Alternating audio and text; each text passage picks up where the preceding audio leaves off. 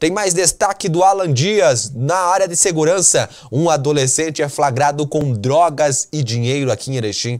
Foi na madrugada de sábado, quando a guarnição da Brigada Militar abordou um rapaz em atitude suspeita, em frente a uma residência lá na rua Francisco de Lima, no bairro Presidente Vargas onde os policiais sabiam que costuma ocorrer o tráfico de entorpecentes.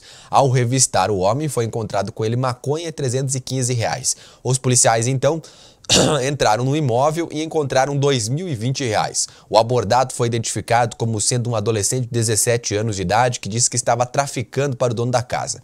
A ocorrência estava ainda em andamento quando a guarnição abordou nas proximidades dois outros indivíduos e identificou eles, constatando um homem de 37 anos como proprietário da residência do adolescente apreendido. Com ele foi encontrado 150 reais. O trio foi levado para o registro na delegacia de pronto atendimento. A Polícia Civil e a Brigada Militar não informaram se eles foram encaminhados para o Presídio Estadual de Erechim ou liberados.